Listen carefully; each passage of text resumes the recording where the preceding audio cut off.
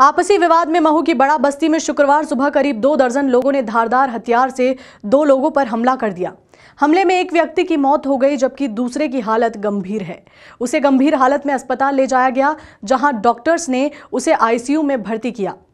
मामले में पुलिस ने प्रकरण दर्ज कर करीब आधा दर्जन संदिग्ध लोगों को पूछताछ के लिए हिरासत में लिया है